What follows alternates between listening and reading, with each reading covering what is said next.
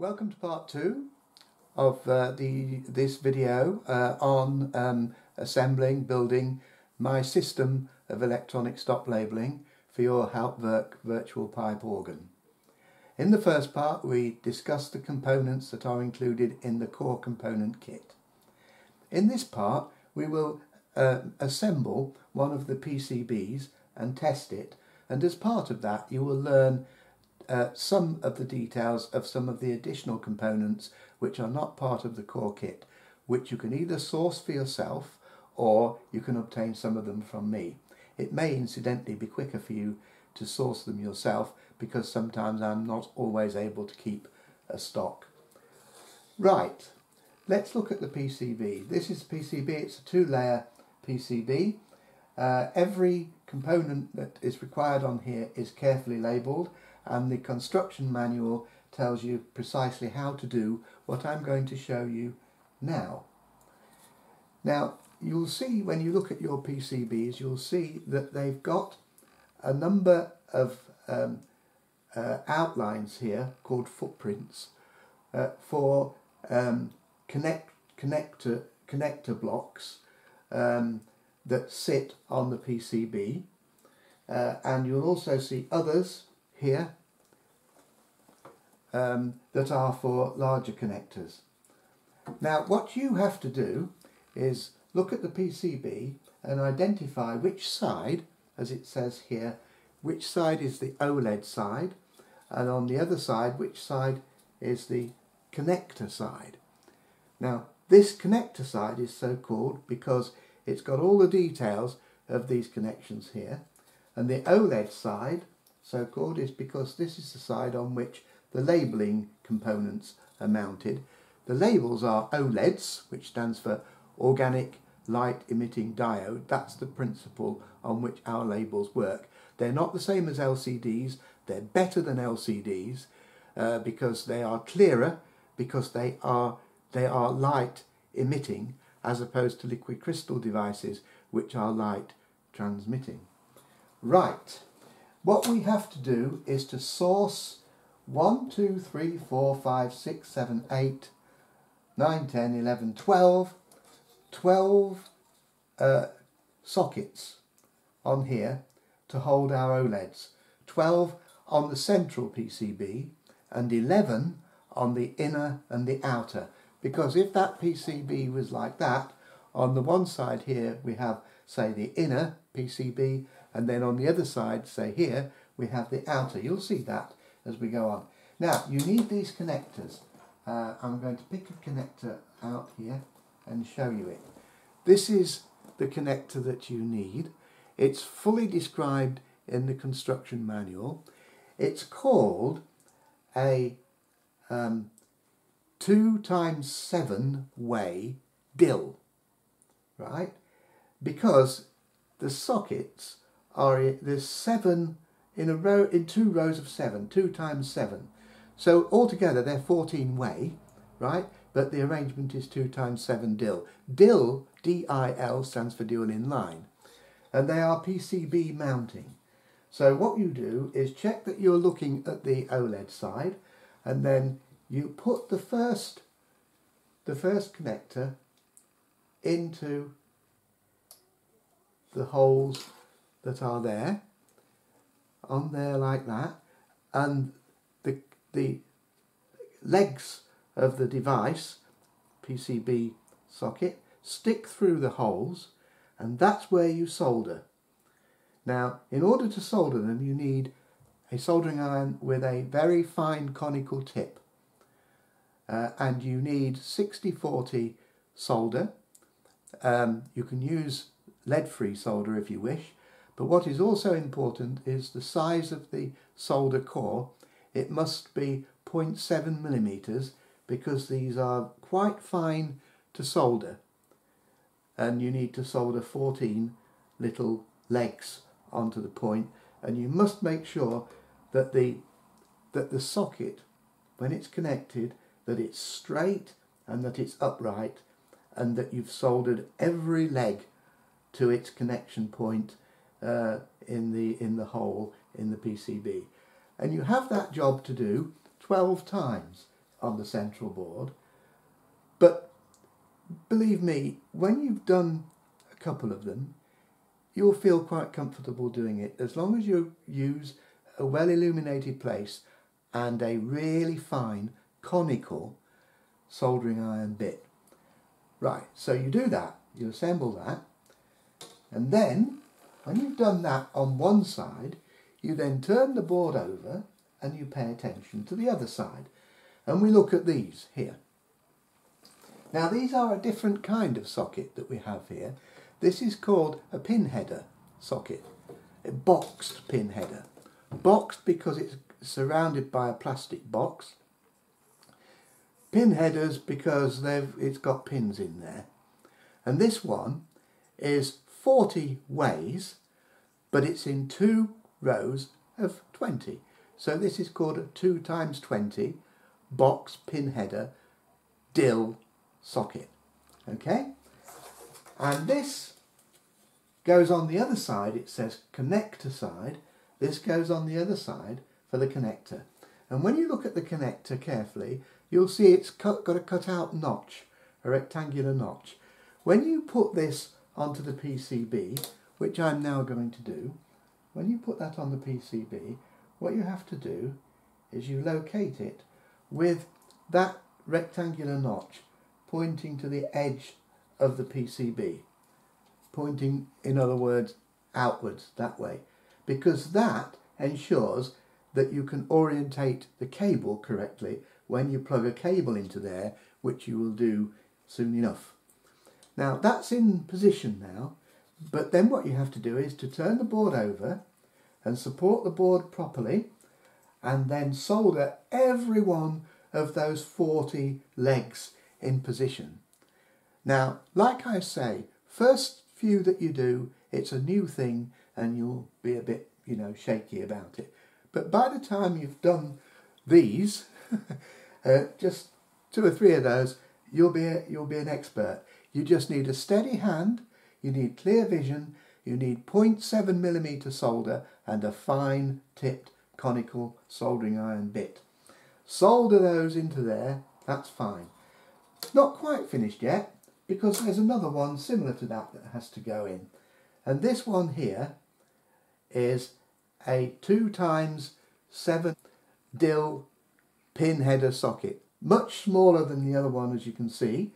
It's also got a location rectangular slot there which also has to point that way on the on the board. So let's put this one into the board like that. Whoops.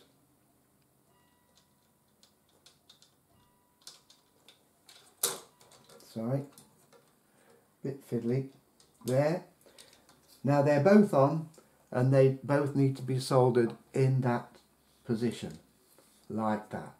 So you've got these DIL PCB sockets to solder and you've got these PCB DIL pin headers to solder. When you've done that, you've built the PCB. How about that? Right? You have to do that for three of the PCBs. And at the end of it all, what you will have, like they say on telly, I've got one I prepared earlier. there we are. This has got those um, uh, DIL sockets soldered in position for the OLEDs and it's got the um, boxed pin headers soldered in position for the plugs that connect in fact to the Arduino Due. So that's how you assemble the PCB. Now I'm going to show you now going to show you how, how you the, the thing you have to do to make it work. Okay? Now, the at, at the heart of the display are these little things, which I don't supply as part of the kit. Right? These. I don't supply them as part of the kit. Uh, but you can buy them from me if you like. You might have to wait some time whilst I get stocks, but um, I'm perfectly happy to supply them to you. These are fully defined in the construction manual as to exactly what kind of OLED you want. That's an OLED. These are 1.3 inch OLEDs and they're called SH1106 and it's essential that you, can, you buy the kind with seven pins. Some of them have only got four pins. You can't use that in those in this project. You need seven pins. Right. Now what you do is you take the uh, OLED and you take the board and you put the seven pins into the top row of holes in the first connector. Just like that, as easy as that. Now in actual fact there's one little snag which I have to tell you about. Um, these are 1.3 uh, inch, 1.3 inch OLEDs but the strange thing is that they're a little bit oversized in the up and down dimension there. Just a little bit. So it does explain to you in the manual that I didn't want to make the PCBs any bigger than necessary and I didn't want to make the, the stop plates any bigger than necessary. So I decided the best thing to do was to file one millimetre off the bottom of the OLED's PCB, which I've done and actually I've done, I've probably done hundreds by now. Um, uh, so it's easy to do. You just need a file and you rub edge, that edge, along the file and uh, you can see where I've slightly filed a little bit off the bottom. You can't do any harm in the filing because there's no connections down there at all that you're likely to get to, right? But what you do have to be very careful all the time with these is breaking the display because there's two sharp corners at the bottom and they're very easy to snap. Now I've handled, in OLED terms altogether, I've probably ha I've handled several hundred and I've broken two. Um, and I broke two in the same place. One of those corners, I just broke it off. Unfortunately, even though those corners are not part of the actual display system, they are part of the wiring into the display and you'll find the pixels, a lot of the pixels won't work if you break the edge off there. So just handle them carefully, but you will have to solder a little bit off. Now, this should be enough for us to test this part of the board, that bit and that bit. We can test that those two parts of the board. Now, I'm, I'm going to show you, in order to connect this board to the Arduino Due here, we need a cable, right? And because this OLED Due has to connect to two other um, uh, PCBs as well, uh, we'll actually have three cables connecting to the Due. One from the inner PCB, one from the central, and one from the outer. Now you have to make up those cables and this one is that I've got here is the central cable, the cable for the central PCB. And you'll see it's made of ribbon cable. Yeah, that's the ribbon cable that we use. I've used 40 way throughout uh, for this. That means it's got 40 cores. One of the interesting and odd things about it though is that all the ribbon cable is pitched at 0.05 of an inch right? So basically two cores of that cable take up 0.1 of an inch. Now, in the case of all of our connectors, right, all of our connectors are in pairs and they're actually 0.1 of an inch apart. So what I'm doing all the way through, I'm using a pair of cores for each connection. And that's because in the cable and in the pin header, header I can use two pins for each conductor and so I'm using two cores. That's explained in more detail in the in the uh, construction booklet, so I, I'll, I'll, stop there with that one.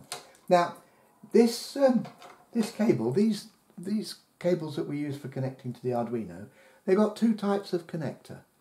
The first type of connector is the one which plugs in to the PCB, and it's it's called uh, the IDC connector for the ribbon cable, and these are very nifty. You see here we've actually got 40 connector, connections on here. We're using them in 20 pairs. And I'm just going to illustrate to you how you use these connectors. What you do is if you look at it you'll see there's the base with the with the, the, the sockets, 2 times 20 rows. And then on the other side of that, there's the metal connectors which are sharp and they will pierce the insulation and make contact with the cable cores. So what we have to do is to hold the cable the right way round and there's a plastic notch on it which matches the, the, the plastic notch on, on the pin header.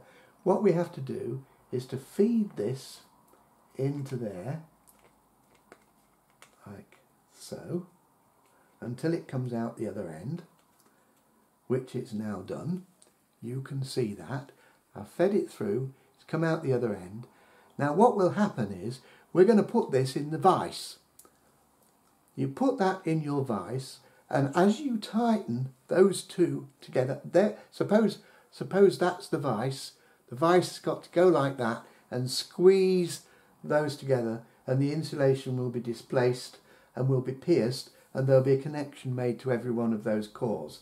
And uh, there's also a little top that you can put on that, a cap, uh, to secure it further. But you'll see all that in the manual and there's a diagram in the manual for each of the cables that you need. I will just show you. There they are, the diagrams. This is the one for the central and then we've got the inner and the outer and you will notice that there's uh, on the other end there's a connector called a pin header sorry called a pin strip um, a connector called a pin strip. I'm going to show you that. There's the connector the pin strip connector. And we solder the pairs of cores onto the connections of the of the uh, uh, pin strip.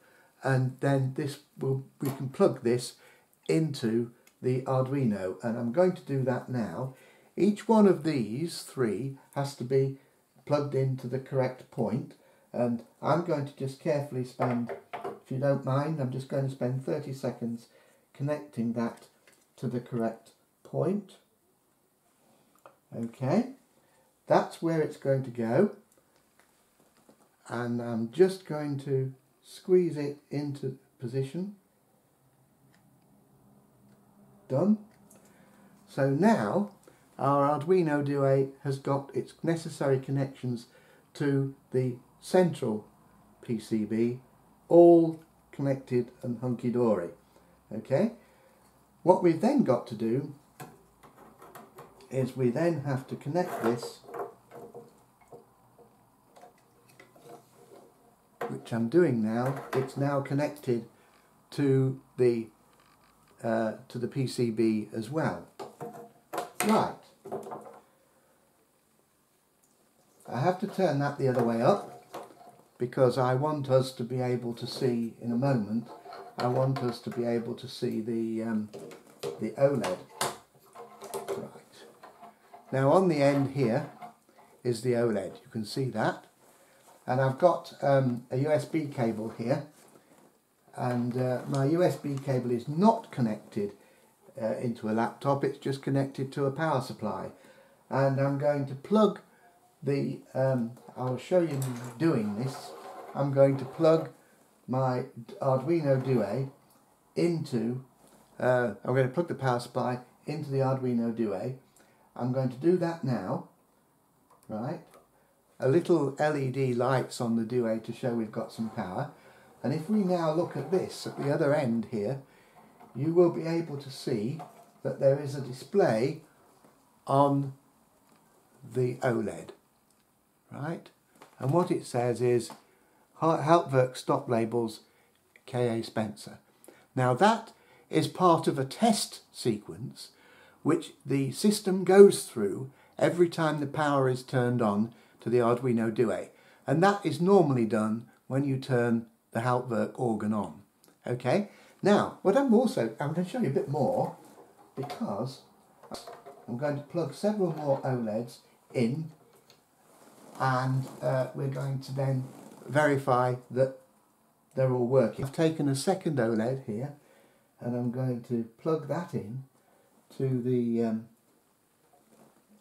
to the second socket on the PCB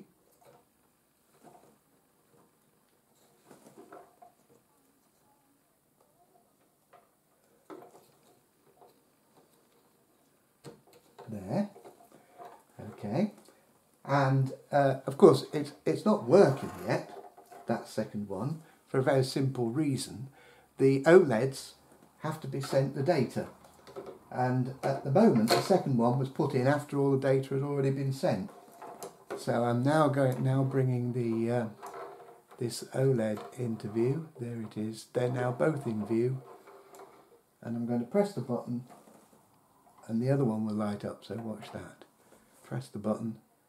There we are. Now we've got messages on both of those two OLEDs that I've plugged in. And if we look at the, see what the messages are. The First one is the same as before. The second one says software version 3.31 21 and a, and a code for the version of the software. And that is also part of this of the testing that happens to make sure everything's hunky-dory when you first turn everything on. Right? It's like a boot process, if you like, uh, such as you're accustomed to with your PC. I'm going to plug another one of these into here. There. Okay, and as you can see that one's not showing anything at the moment, but when I press that button on the Arduino Due and the reboot takes place, you'll now see that there is another message on a third OLED and that message says license in-house with a message with a license code and that's just uh, part of your um, authorization to use the software and also so you know exactly what version and so on of the software you've got. Right, I'm going to plug one more in. In fact, I'll, I'll plug two more in. Uh, I'm plugging one more in now. And because the net, I want to show you the next message because the next message is different from all the other messages that you've seen. So we're now going to reboot the Arduino Due and you'll see that now all four of the first lot have lit up. Lit up. And that um, message on the fourth one here is very different from the one on all the others because first of all it's got L23 and L24 test OK. Now this L23 is the is the stop switch number that is on the right of this particular OLED and L24 is the stop switch number that's on the left and this is just proving to you that this OLED is going to display the correct stop label. Because after all, you've got 60 stop level labels, and we've got to make sure that all the stop text will be directed to the correct label. And that shows you that that's working. So when Hauptwerk sends the uh, label text through the MIDI connection to the Arduino Due, and the software it sorts it all out, we will we would expect the soft the, the label for label 23 to come to the top part of that label and the label for and the text for label 24 to be there. And I'm just going to connect one more just to show you that we'll get different numbers of the labels on the next one if we do. And what I'm going to do, I'm not going to plug the next one right next to it in, I'm, I'm leaving a gap. Okay, so I've left a gap and I'm now going to press the button on the um, on the Arduino Due and it's going to light up that other label and you'll see that lit up. And it says there label 27 and label 28 L27 L28 that's what it says which means that that's the text for label 27 and the text for stop 28 and uh, we know that I know and you will know when you built it that that's the correct position for the for those particular uh, number of stops. So that's how you build the um, uh, the each PCB. You solder those connections in and then you plug the OLEDs in and I recommend that you do what I've just done. You take your your uh, Arduino Due which is here on the end of all this.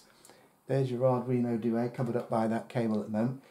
You take the Arduino Due, you make up the cable to connect it to the PCB, you plug the labels into the PCB and you connect it either to your computer or to a power supply. You don't need Hauptwerk to test this. You um, just plug it into a power supply or into your computer via USB and these will light up and verify that the hardware is functioning.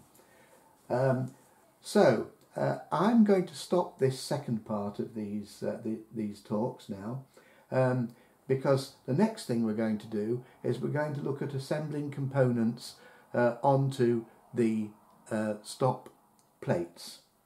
Thank you very much for watching and we'll start the, the next uh, part uh, in just a few minutes. Thank you.